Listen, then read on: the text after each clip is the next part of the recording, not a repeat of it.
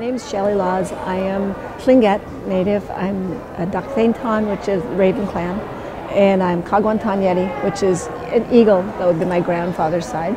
Um, and I'm a Chilkat weaver and I'm a storyteller.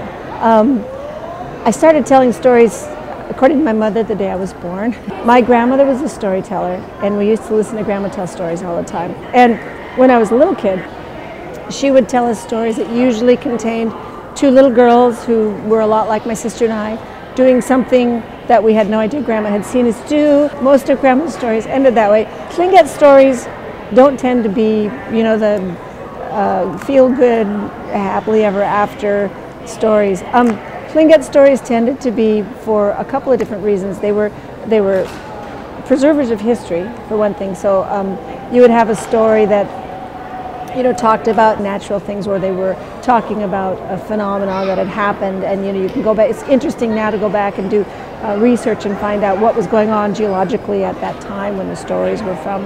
And stories were also um, a way of teaching lessons or explaining phenomenon that they didn't understand. You know, sort of like putting the sun and the moon, the stars in the sky. I think there isn't really a culture that doesn't have a creation story.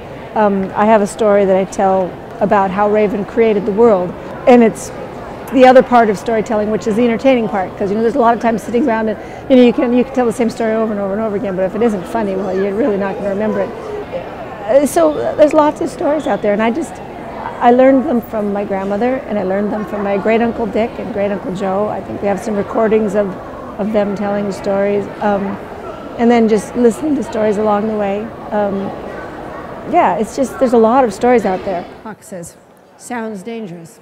I'll do it.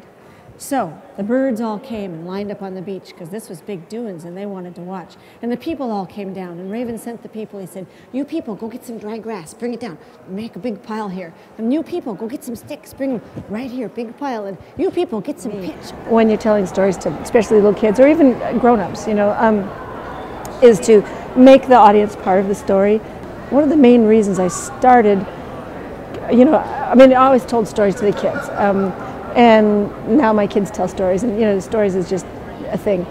I think we should understand each other and understand each other's culture. And one way to do that is to have fun with each other's culture. And storytelling is fun. Like everybody likes a story.